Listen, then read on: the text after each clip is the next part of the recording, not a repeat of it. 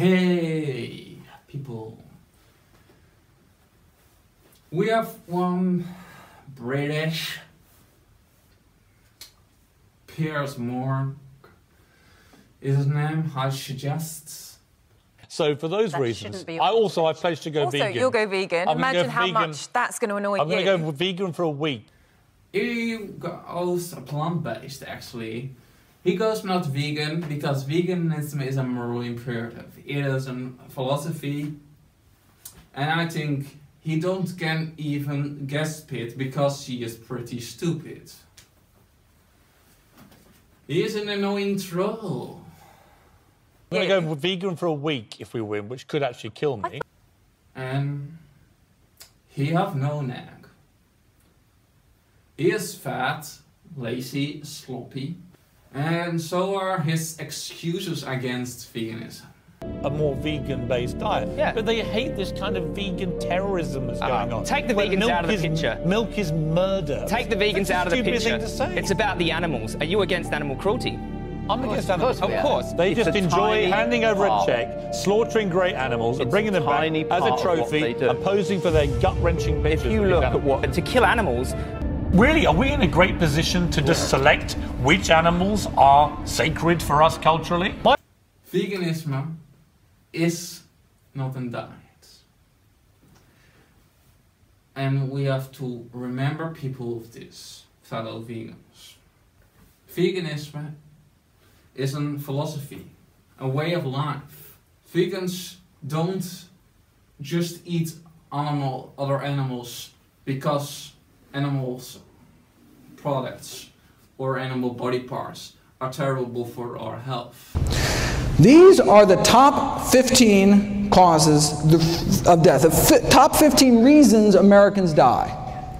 And a plant based diet can help prevent nearly all of them, can help treat more than half of them, and in some cases, even reverse the progression of disease, including our top three killers.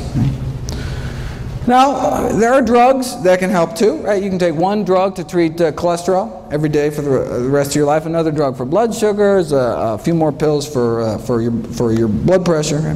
The same diet, though, does it all, right? It's not like, you know, one diet for this and then a different diet for this, right? One diet to rule them all. Vegans do this because it is unnecessary and cruel to innocent living beings.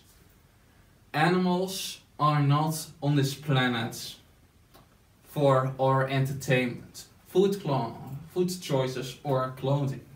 They are on this planet for their own reasons. Like women are not on this planet for white cis or black cis males. They are on this planet for their own, for their own reason. Let them alone. Treat them fairly. Like the way you wanna be treated. Because if you ask me, if you treat animals unrespectfully, why should you expect then that others who care about those animals treat you with respect or decency?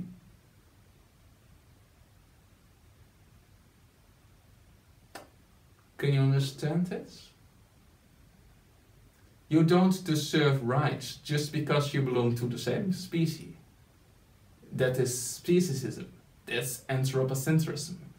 Anthropocentrism is like um, white supremacism in regards to racism. You have then the upper classes of the form of discrimination. You have white supremacism uh, when it comes with white people discriminating against black people. And then you have the lower core, and that's racism. And then you have, you have anthropocentrism. And then you have the one of the undercategories of anthropocentrism is speciesism. Another is um, carnism. Veganism is, on the other hand, an more an aspect of biocentrism because we don't look things in one hierarchy. At least not the way I look to it. That's not how I look to it. I don't think a species have more fire be just because it is more sensitive. I look at more from one Earth perception. In that regard, phytoplankton are one of the most important things on the planet because phytoplankton are responsible for 70% of all the oxygen on the planet. I think uh, insects are also very important because without insects, pollinators, etc., we get a whole shit health destructive um, planet. Without cleaners like snails and beetles, we uh, get everywhere shit from the animals. The the beetles and snails and etc. All the other cleaners are cleaning up the ground. Pollinators are pollinating the plants, the flowers of the plants, so that grows. They're very important for the ecosystem. So I don't um, find it okay when people intentionally harm insects. Specific wind is not necessary. Always. You have to remember there's a, a large difference between intentional causing suffering and unintentional. When you pay for people to harm animals in a slaughterhouse or you shoot one deer yourself, you're causing intentional suffering. When you step on an ant on the ground, I suggest most people do that not intentional. At least I think not. So understand you what I mean with this?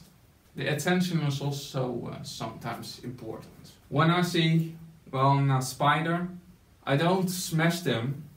I take them, uh, if there is not a toxic spider, uh, on my hand and I place them on the tree outside of my house. When it is a toxic spider and I've been in a climate where there are toxic spider, I take, uh, I put my hands on my fast and do and put the spider so, where I, I uh, take one bottle and let him slowly walk in it. But I don't uh, try to uh, let the spider be uh, terrified by me. Imagine you are a spider and you are so, so little critter. And then you, as a large um, naked ape, come to the spider. The spider thinks, what a giant, what a what a creepy giant. I want to smash me, I want to smash me. Oh, where I can escape. Place yourself in the position of that uh, critter. Try it for a chance. If you are afraid for spiders. The spider is far more afraid of you.